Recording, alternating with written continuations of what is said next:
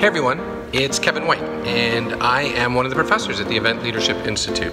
And I am teaching the class Event and Meeting Management Fundamentals.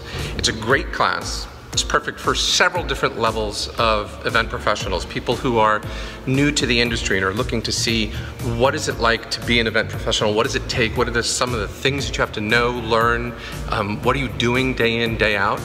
Um, it's great for people who've been in the industry for a couple of years but are really looking to hone their knowledge on uh, maybe it's things like contracts, maybe it's things like AV or food and beverage. Um, and then, of course, there's people who've been in the business sometimes for 15, 20 years, and they're looking to just make sure that, well, they've what they've been doing and how they've been doing it. Maybe they're in their own little silo and they're looking to see how else do other people do this. So it's a great course for a lot of lot of different people. And of course, there's a lot of different things that we do with it. It starts off very philosophically with how do we design for humans and, and what, are, what are human outcomes? This is what all people in the experiential industry actually practice, trying to make humans be or do or think or act a certain way, right? And we get into things like the um, event design and how do we design for humans. We get into things like um, project management and best practices. We get into financial management. We look at things like um, you know writing contracts. We'll get into things like risk management. So far we've gotten into all these different topics and we haven't even gotten to the stuff yet, but there's so much to event and meeting management that, well, we got to get to all of it. So of course, then we move on to the things that are involved certainly in the actual execution of events themselves. So we look at things like how do we staff events? Um, we look at things like selecting uh, venues. We look at things like audio visual. We look at things like marketing. These are all different types of, of topics that we cover in this course. And then of course we look at how do we function day of when we're actually executing the event itself. And then, of course, there's other things we talk about too. We talk a little bit about sustainability and, and what our legacy is going to be as we produce events. So, how does the course actually work? It's pretty simple. You watch about an hour's worth of video modules each week over the course of 10 weeks. You do it at your own pace.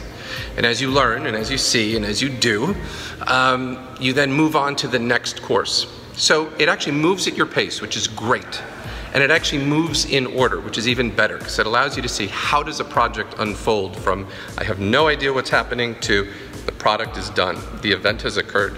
What's great about the modules is as you move through each week, we also give some supporting things. It might be articles to read, it might be documents to fill out, it might be helpful cheat sheet lists of things.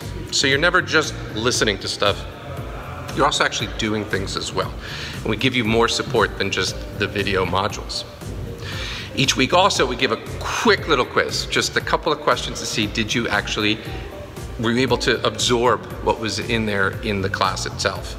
Now at the end of all the 10 weeks, you have a couple of options. One, you can say, great, I took all the classes, I watched all the videos. The other thing you can do is you can take the exam. And if you pass the exam, it's a multiple choice exam, if you pass that exam, then you get a certification in this class.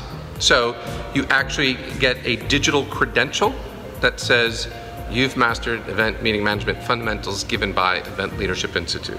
And for many, that is a lot of what they're looking for to show their bosses what they've done, to show potential clients what they've done.